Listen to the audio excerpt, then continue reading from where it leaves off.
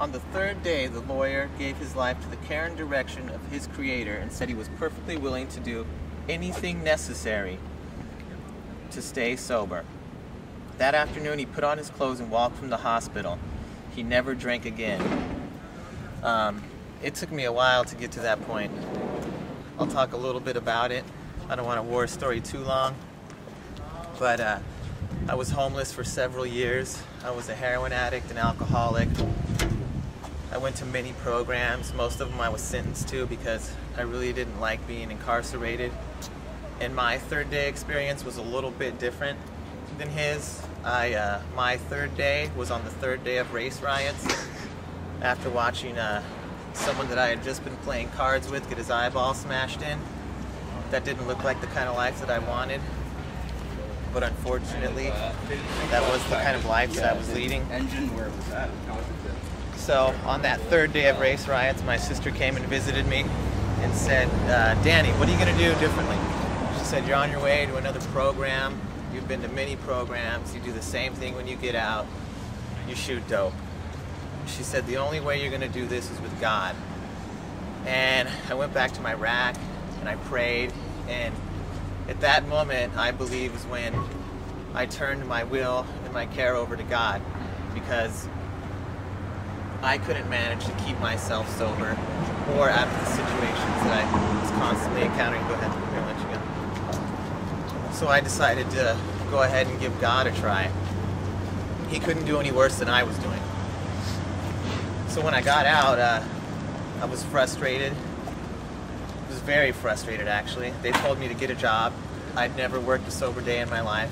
I had done mortuary driving off and on, and I wasn't even responsible enough to do that, really. I'd lost bodies all the time. I would go to the hospital to pick up a body. I'd go in the bathroom, do a shot, come out all freaked out. Where's my body at? Somebody stole it. And uh, usually it was just on the other side of the hall. Fortunately, it just took me a while to come back and find it. So when they told me to get a job, they didn't really tell me how to get a job. They just said to get a job, and they helped me put a resume together. And uh, my resume said like institution, institution, institution, mortuary driver, and uh, people didn't want to hire me with that resume. As it's outstanding as it of a resume as it is, it really didn't get me anywhere.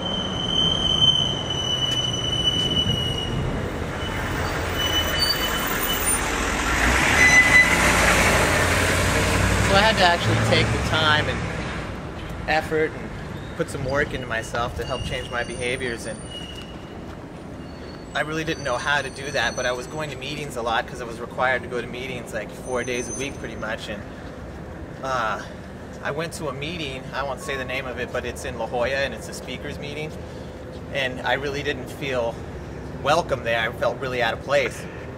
And this lady that looked like June Cleaver comes up to me and says, Hey, are you new? And I was a little offended. I mean, I had on a sleeveless Chachi vest with some studs on it. And I was like, Yeah, why do you ask? And she there's somebody here you might know. So she goes into the meeting and she comes out with this guy with a tattoo on his head and he's wearing a suit. And I look at him, I'm like, I don't, I don't know this guy.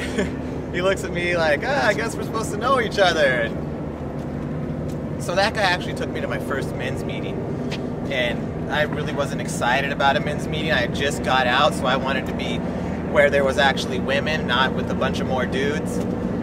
And he asked me if I had a sponsor. I said, no, I don't have a sponsor. So he turns around and grabs this guy and says, hey, uh, this is your sponsor. And that guy sponsored me and he took me through the 12 steps.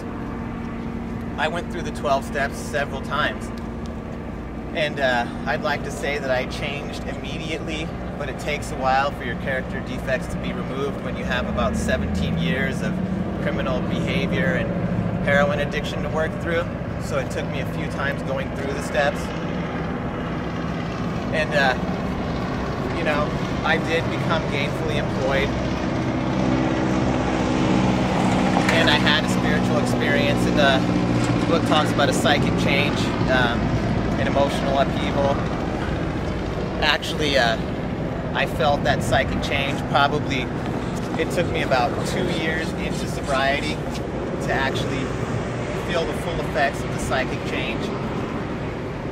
And one of the things that I would like to, uh, to leave with you guys is uh, a scripture. It's, you know, it helps me out a lot. It says that God will not tempt you beyond what you can bear, and He will provide a way out.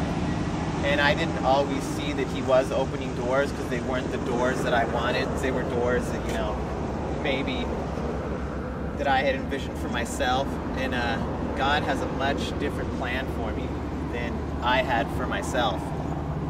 So if there's anything that I can share with you, is just uh, stay open. Thanks.